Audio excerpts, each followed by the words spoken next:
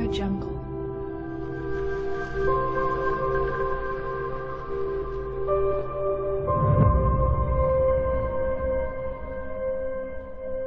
Audio Jungle.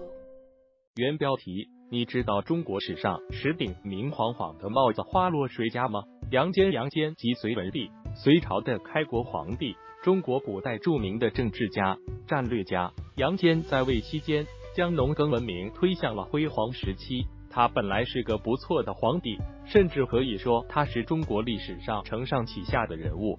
但是在自己晚年的时候，被自己的儿子杨广扣了一顶绿帽子。杨广调戏自己最宠爱的妃子荣华夫人，当时病重的杨坚知道这件事后，被气得一命呜呼了。杨广，杨广即隋炀帝，隋朝第二位皇帝。杨广给自己的父兄扣了绿帽子，也没避免自己被扣帽子。他的皇后萧皇后在他死后，先后成了宇文化及的淑妃妃，窦建德的宠妾，两代突厥藩王的王妃。最后又成了唐太宗李世民后宫中的昭容。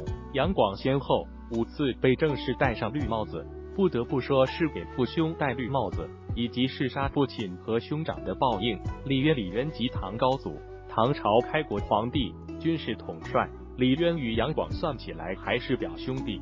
他之所以会反隋，大概也是因为他与杨广的两个妃子私通。坐上帝王位之后。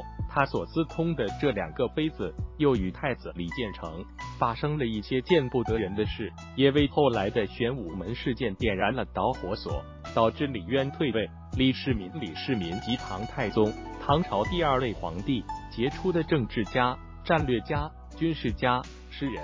他虽然是一代明君，但不可否认，他也被戴了绿帽子。他晚年宠爱的才人武士，也就是来的一代女皇武则天和他儿子私通，在他还没死的时候，就给他戴了一顶绿帽子。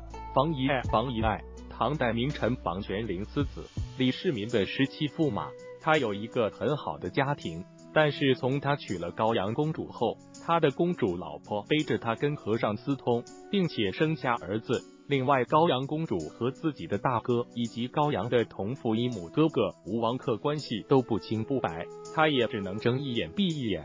最后还要和让自己当乌龟的人一起造反，也是由于他的原因泄密，落了个身败名裂的下场。